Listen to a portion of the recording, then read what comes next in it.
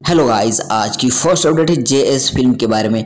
उनके चैनल पे नया वीडियो आया था और उस वीडियो में उन्होंने बताया कि उन्होंने Ninja S two two thousand five hundred six की बाइक चलाई और इस वीडियो में उन्होंने बताया कि उनका टॉप स्पीड क्या था। अब तक की बाइक चलाने का तो उनका टॉप स्पीड है two two hundred seventy kilometres.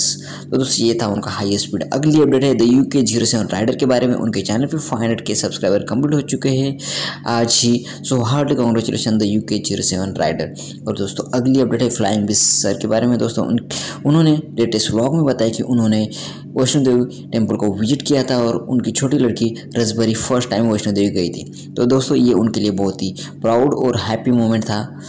तो दोस्तों, ये थी आज के important travelling and blogging community news and updates तो मिलते हैं नए वीडियो के साथ, नए टॉपिक्स के साथ।